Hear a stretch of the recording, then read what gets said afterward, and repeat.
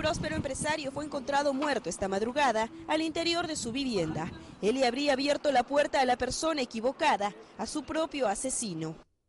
Luis Rigoberto Zapata Arce era dueño del restaurante Criollo Zuli, ubicado en el corazón del distrito de La Punta, en el Callao. El joven empresario acababa de remodelar su departamento y en su restaurante le iba cada vez mejor. ¿Tenía problemas con alguien? No, no, no. Es una persona muy tranquila, full chamba nada más, pero nunca ha tenido hasta incluso lo, a veces cuando vienen así choros, así le piden comida, mi hermano le era para evitar problemas, para no tener eh, egoísmo. ¿no?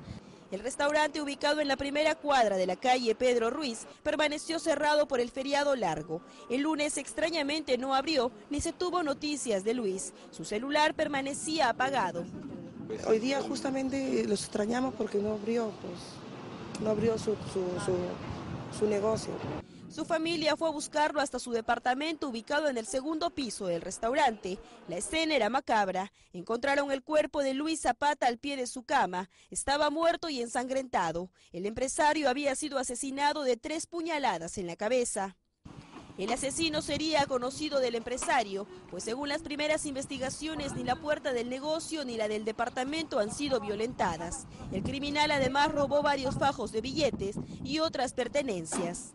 Luis Rigoberto Zapata Arce llegó de Piura y con mucho esfuerzo pudo emprender su negocio. Incluso planeaba colocar sucursales en el primer puerto. Era un joven alegre y soñador.